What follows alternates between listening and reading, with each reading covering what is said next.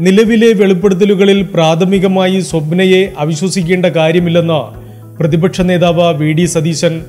അവരുടെ വെളിപ്പെടുത്തലുകൾ തെറ്റാണെങ്കിൽ നിയമ നടപടികൾ സ്വീകരിക്കട്ടെ എന്നും സതീശൻ പറഞ്ഞു. സ്വപ്നയെ സ്വാധീനിക്കാൻ ശ്രമിച്ച ഷാജ് കിരൺ എന്ന മാധ്യമപ്രവർത്തകന്റെ പേരും നേരത്തെ പുറത്തു വന്നിരുന്നു. മുഖ്യമന്ത്രിയുടെ പ്രിൻസിപ്പൽ സെക്രട്ടറി വീണ്ടും ജയിലിലാകുകയും അഡീഷണൽ പി എസിനെ ചോദ്യം ചെയ്യുകയും ചെയ്ത സാഹചര്യത്തിൽ സ്വപ്ന സുരേഷിനെ സ്വാധീനിക്കാൻ വീണ്ടും ശ്രമം ഉണ്ടായിട്ടുണ്ടോ എന്ന് സംശയിക്കേണ്ടിയിരിക്കുന്നുവെന്നും അദ്ദേഹം വ്യക്തമാക്കി. ഇത്രയേറെ വെളിപ്പെടുത്തലുകൾ ഉണ്ടായിട്ടും സ്വപ്നയ്ക്കെതിരെ നിയമ നടപടികൾ സ്വീകരിക്കാത്തത് എന്തുകൊണ്ടാണെന്നും അദ്ദേഹം ചോദിച്ചു. നിയമ നടപടി സ്വീകരിച്ചാൽ അവർ കൂടുതൽ കാര്യങ്ങൾ വെളിപ്പെടുത്തുമെന്ന ഭയമാണ് ഇതിന് പിന്നിൽ.